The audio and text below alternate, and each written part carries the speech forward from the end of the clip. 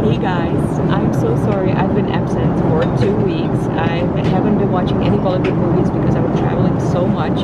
But currently, I just wanted to update you. I am on a Jet Airways flight to Mumbai. So when you're watching this, I am actually already in Mumbai. You can check out my Instagram, you can check out my Snapchat guys were so freaking excited for me to get back to India and I just wanted to give you a quick heads up that yes, I'm in India because my vlogs are always a week later.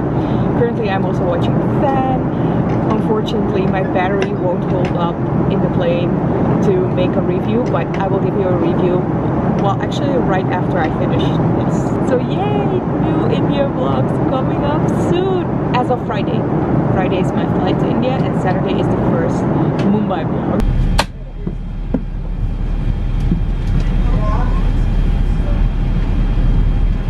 Oh my gosh! Shah Rukh Khan was in my home country, so he was in Dubrovnik, and Dubrovnik is uh, a city in Croatia, and Croatia used to be part of former Yugoslavia where I was born. What?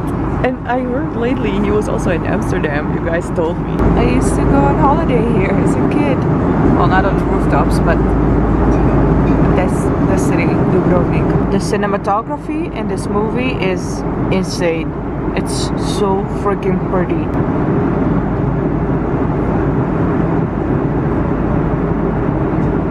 Fan was really, really, really good. I, um, I really thought it was a good story. I love the cinematography.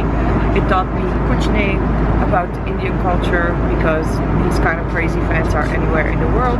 But still, I really, really enjoyed it. Some of you guys told me like, ah, Ivana, Shah Rukh Khan is in Amsterdam, try to meet him. I I felt actually like this crazy fan, but I am not.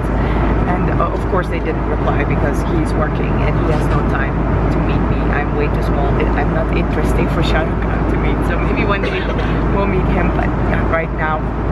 So we are going to land in Mumbai in one and a half hours. When you're watching this, I'm already in Mumbai. If you would like to travel along in India and you are not yet subscribed, click that subscribe button. And if you like this video, of course you can put a thumbs up. Thank you so much for watching and I can't wait to travel with you in India.